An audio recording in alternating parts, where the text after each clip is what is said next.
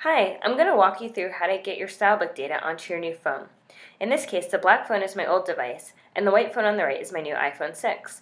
Open the Settings app on your old phone, tap the iCloud menu, and then scroll down and tap Backup. Make sure your last backup time is today, and if not, press Backup Now. Once the backup on your old device is up to date, you're ready to start setup of your new device. First, make sure that your device is on the Wi-Fi network. This is essential. Next, when you get to the Setup iPhone screen, you must select Restore from iCloud Backup. This will ensure that the data from your old device is transferred to your new one.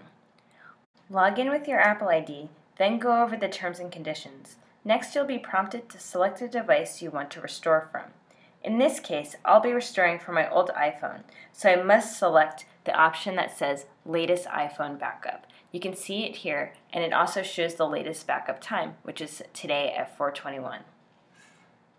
Now your device will begin the iCloud transfer of all your apps, including StyleBook.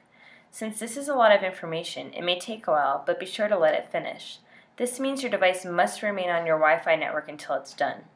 Once it's complete, your entire StyleBook database will be on your new device. For more information about StyleBook, visit stylebookapp.com.